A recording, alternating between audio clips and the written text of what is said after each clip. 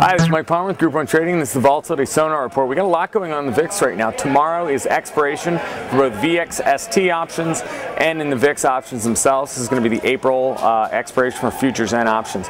Right now, the VIX front month futures trading about 1650, so it's right in between strikes. We have a 16 put and the 17 call both in play here. That strangle's trading at roughly 65 cents, which is actually pretty high, and that makes sense because we've already seen a pretty big range today in the S&P 500. Uh, in the middle of the day today, we heard that there were Russian troops now on Ukrainian soil. There's an airfield that has Russian troops on it. We really saw the market turn around to the tune of about 15 points in the S&P 500. So a lot of volatility in play for this print, a lot of it related to Russia and Ukraine.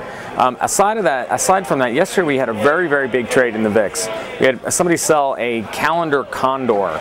Uh, they sold 100,000 of the May 20 calls and they bought 150,000 of the June and July 20 calls and sold 150,000 of the August 20 calls. So what you want to think there is they bought 300,000 calls in the VIX in the 20 strike in June and July. Adding to that today on the uh, July 22 line, we had a buyer for $1.20 of 100,000 options outright. Just came out and just paid the offer. So there's a lot of demand for that midterm volatility right now.